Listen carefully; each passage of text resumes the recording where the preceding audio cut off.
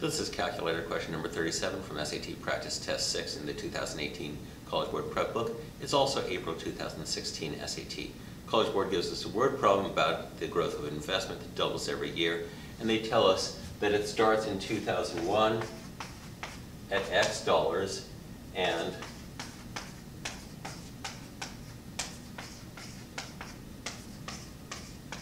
doubles every year till 2005. So it's 2x, twice 2x would be 4x, twice 4x is 8x, and twice 8x is 16x.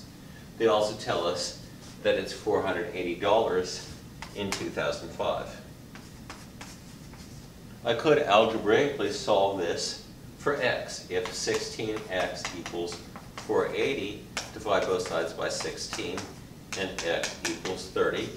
That's easy to do on the calculator, if not in your head. Alternatively, if it doubled every year and it's 480, it was 240, and a year before that it was 120, and a year before that it was 60, and a year before that it was 30.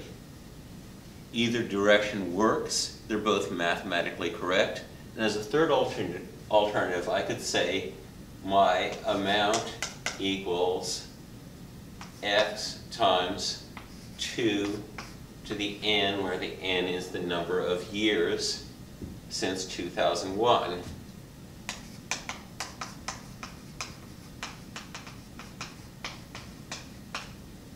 Which means in 2005, where n equals 4, your amount is x times 2 to the fourth.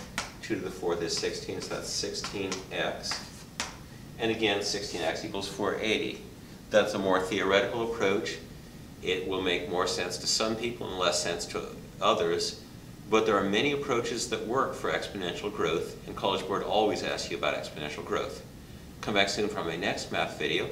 With math, there's always more.